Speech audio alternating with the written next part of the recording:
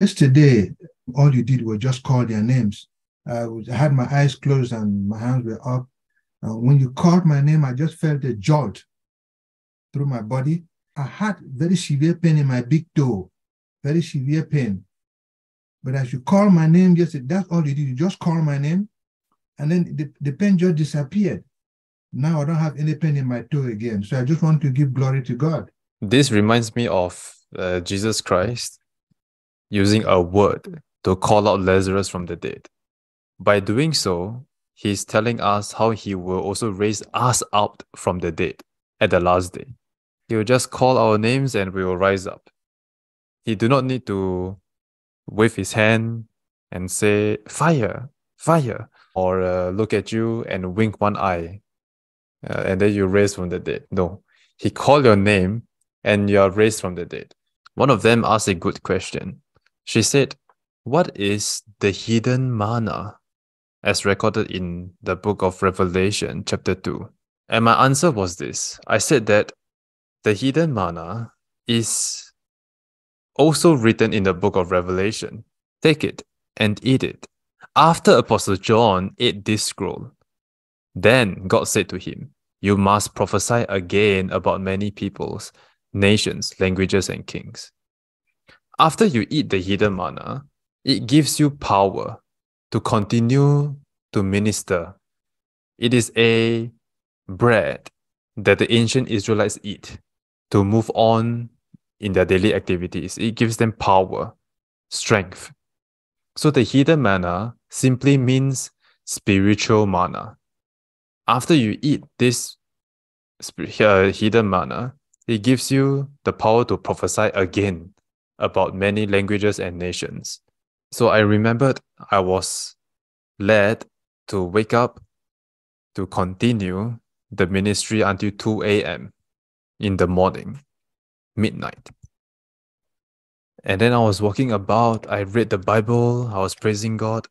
Then a voice from heaven told me, He said, Now, John, I want you to go and minister to people at that time in the morning.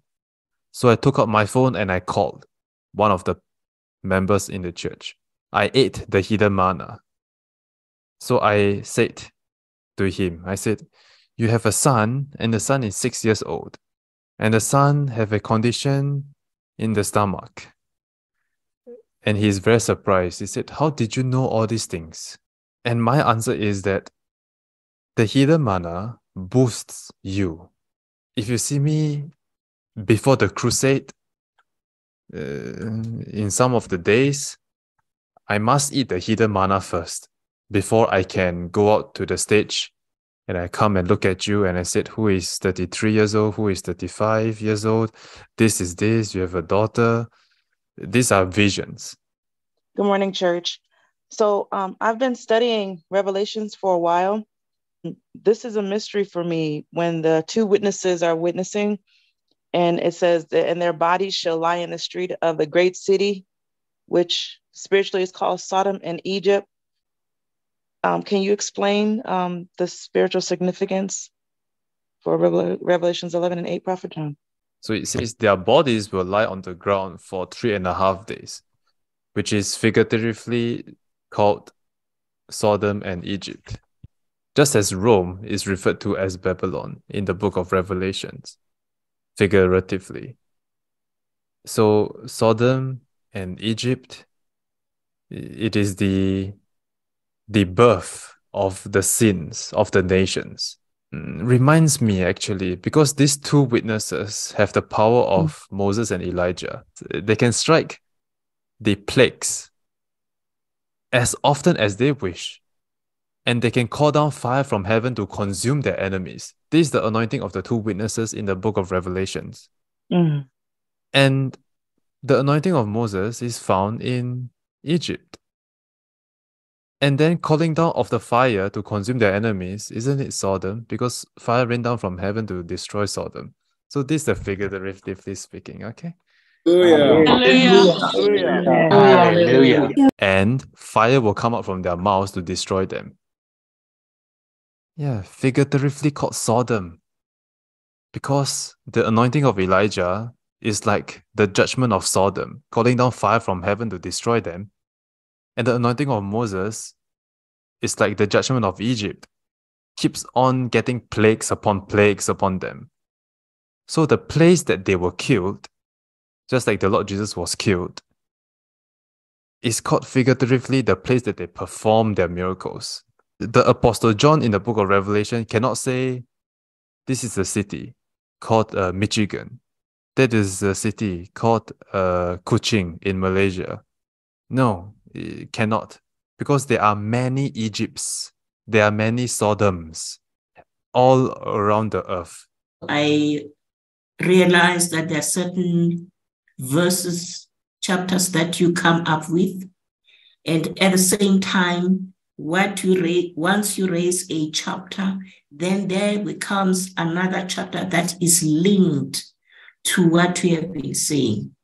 And my question was, is it that when you have all the the, the, the chapters, uh, remembering them, this, this is what I just want to be clear of because, men of God, I read the Bible, but it becomes difficult for me to link a particular chapter with another one.